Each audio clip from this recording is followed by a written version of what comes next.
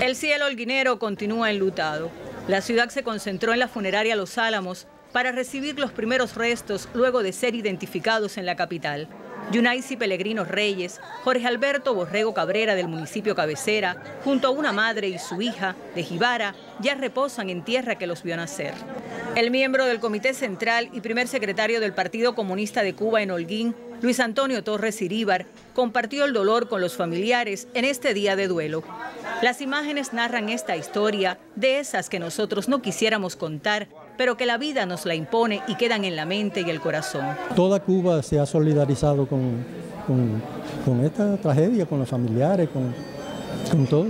Así proseguirá el traslado de los restos de 67 holguineros, 41 radicados en la ciudad cabecera y 26 en los otros municipios. Reconocer también el, el apoyo que ha tenido de los organismos nacionales y provinciales, de las autoridades del país y de la provincia de La Habana, y el resto de las provincias que han estado muy sensibilizadas y, solicitando mucha información y acompañando al pueblo holguinero en este momento tan difícil. Apreciamos también en la población mucha eh, unidad y mucho compromiso y respaldo a, a la familia. Por eso se encenderán luces y no faltarán flores y rezos en estos días de luto para una ciudad que acompañará a sus hijos hasta el último adiós. Desde Holguín, Aliuban Moreira, Camilo Batista y Beatriz Albán, Sistema Informativo de la Televisión Cubana.